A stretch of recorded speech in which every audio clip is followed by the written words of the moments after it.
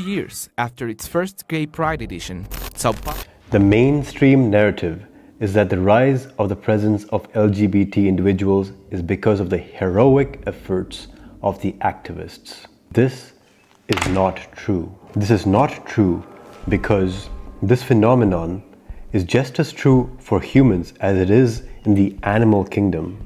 Across the planets, all animals, especially the marine animals who are most exposed to endocrine disrupting chemicals, are exhibiting anomalies, anomalies in both their physiology, so their body, their reproductive parts, but also their behaviors. This is very much in line with the most recent science to do with endocrine disrupting chemicals.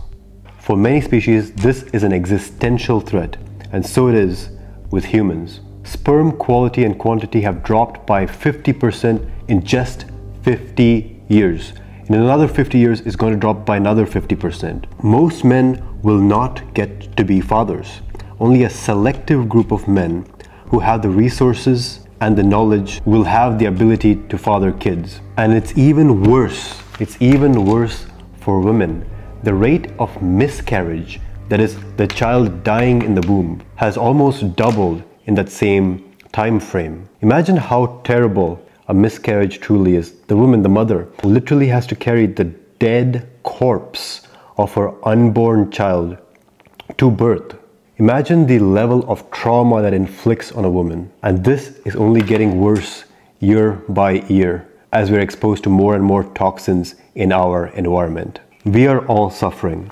Men are being faced with depression at an unprecedented rate. They are engaging in self harm and even self deletion at a rate never before seen on the face of the earth in the history of mankind. And all we do is we harp about Mental Health Awareness Week without connecting this issue back to testosterone. The science on this is very clear and has been for decades. And here we are, walking around with the green ribbon because we're aware of mental health. This is not the way.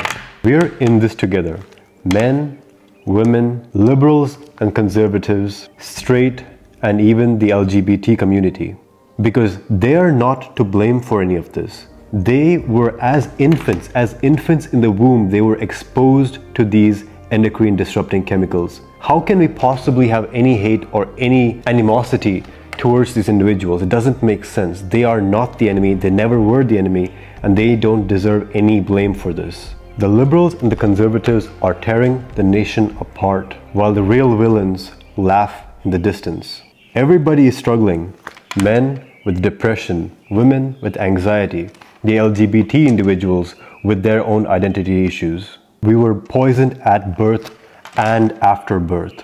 Why are young boys prescribed with mind-numbing drugs just because they act in the exact way that nature prescribed them to act in? Why are young girls being prescribed with birth control drugs just to cure their acne? Do you know what is meant by bread and circuses?